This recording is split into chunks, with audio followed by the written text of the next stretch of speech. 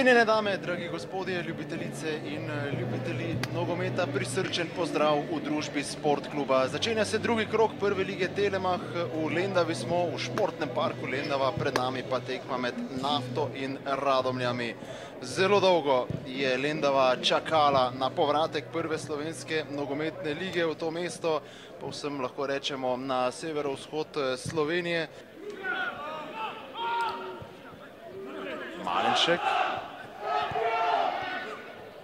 Pa znova Moses, eh, dobra vizija Mosesa, štormanje v kazenskem prostoru. To je priložnost in gol! Lepa akcija Radomljanov, ki so okronali premoč na začetku tekme. Zadev je Matej Malenšek, ki je deloval najbolj potenten v teh eh, uvodnih minutah. Zdaj teče 12. mislim, da se je iztekala 11. ali pa ravno kar začenjala 12. ko je zadev Matej Malenšek. Najprej odlična podaja v prostor. Videli bomo vse skupaj v ponovljenem posnetku. Takole Moses proti Štormanu. Tule se je že odprla obramba, potem pa tisti glavni mož omenjenega kluba ZTE in nafte jasno ista oseba. No zdaj morda priložnost. Saj padel je, ampak ni prekrška. Denis Šavanagič je takoj Kukovec. Tole je priložnost za strel, ampak ravno dovolj dobro je Kukovca oviral Dumančič. Zdaj tudi priložnost za protinapad gostov. Kukovec povlečen povsem na desno. Kukovec v kazenski prostor, pa spet ne najboljša reakcija obrambe. Strelo daleč, to je bilo nevarno, ampak Rok Štorman je za las grešil iz nevarne cone, ko so potem Radomljani vsele dobro postavljeni. No, zdaj Kadrič prepovedanega položaja ni bilo, bomba Kadriča. Bolj na desno stran je šel Žombor Kalnoki Kiš, 22-letni Mađar. Podaja pa med tem pred gol in izredno priložnost je zapravil Kukovec. Kukovec se bori, ampak dovolj odločen Dragoner. In tu je zdaj Klaus. Klaus in Salaj. Salaj za Klausa. To je priložnost in gol! 75. minuta, nafta do izenačenja in takoj kazen za tisto zapravljeno priložnost Nina Kukovca.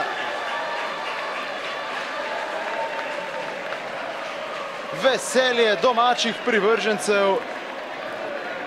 Ena proti ena, lepa akcija in potem tudi miren zaključek, močno, a natančno z globinskimi podajami, s podajami v prostor, Korun proti Kukovcu. Ja, zdaj je Kukovec zagotovo v težkem položaju po tisti zapravljeni priložnosti, tu se lahko odolži Kukovec, projektil na pravem mestu, pa Žan Mauricio. Salaj. Krasna podaja in tole je zdaj nova priložnost. Vrata so prazna in gol! Božičkovič, tisti, ki je opisal asistenco in se tu veseli tega zadetka. Nesebično žoga proti Klausu, ki je bil spet na pravem mestu. Kakšna menjava je to Jožefa Božika. 81. minuta, popolni preobrat. Klaus pa junak nafte veselje tudi vseh preostalih. Drugi gol na tekmi za Milana Klausa. Poglejmo, kako je šla akcija. Takole podaja proti Božičkoviču. Ta je potem pred golom poiskal Klausa. Šel je iz vrat Velič, ki je bil nemočen.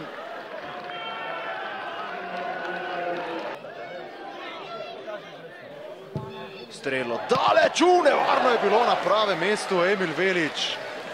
Naftaši Korun za Gorenca Stankoviča, dobrovoljc, zdaj ostaja zadaj Gnjatič. Kaže nekoliko spremenjeno, vse skupaj, u, kakšna priložnost za Radomlje, žoga pa čez gol.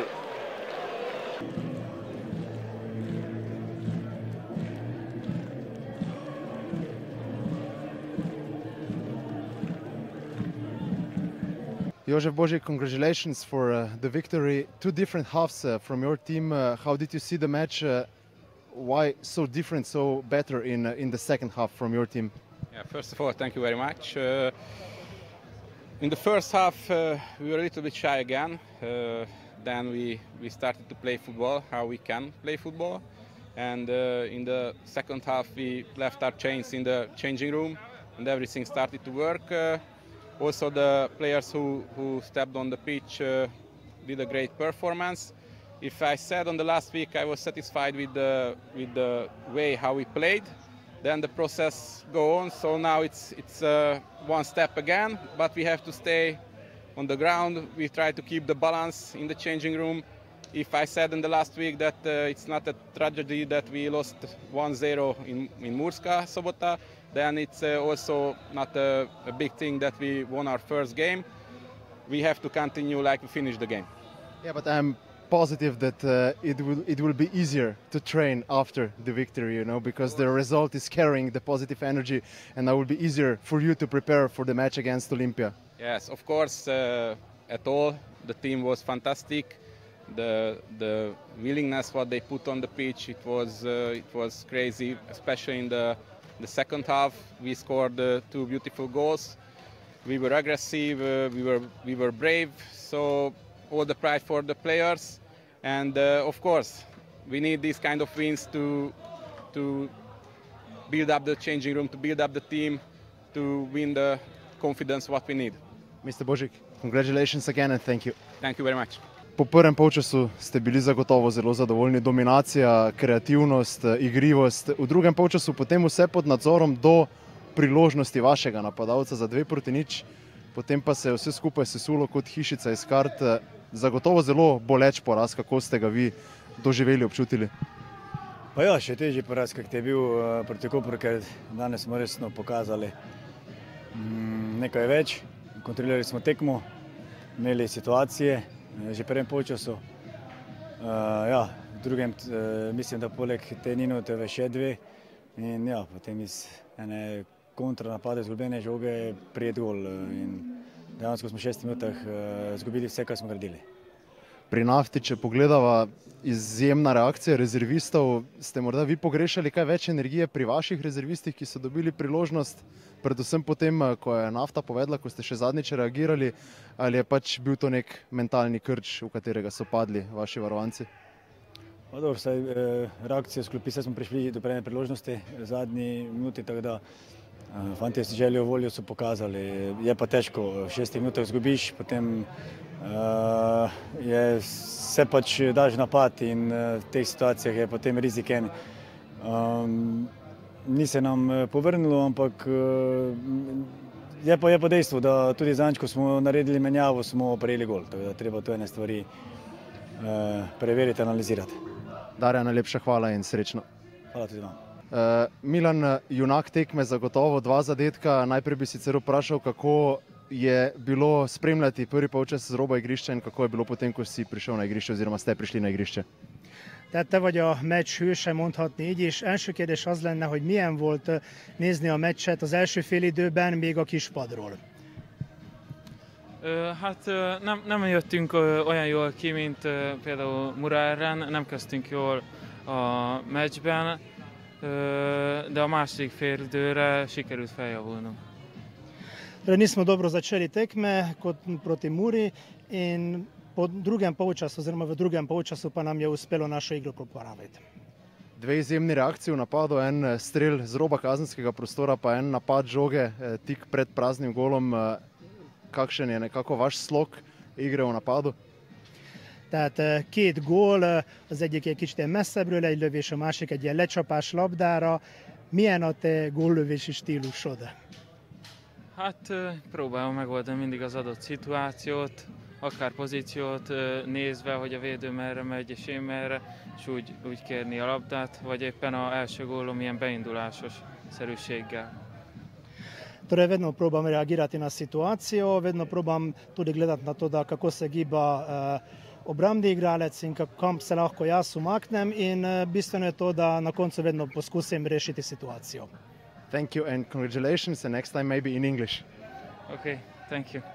Uroš Korun, zagotovo zelo boleč poraz, vse ste imeli pod nadzorom, kot sem že dejal tudi vašemu trenerju, vse do tistega eh, zicerja Nina Kukovca.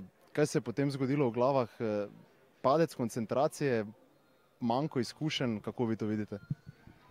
Ja, verjetno neka kombinacija vsega, od, eh, od koncentracije, od neke neizkušenosti nove ekipe, ampak to definitivno ne more biti izgovor. Vemo, da tudi nafta se sestavlja, se še kar sestavlja.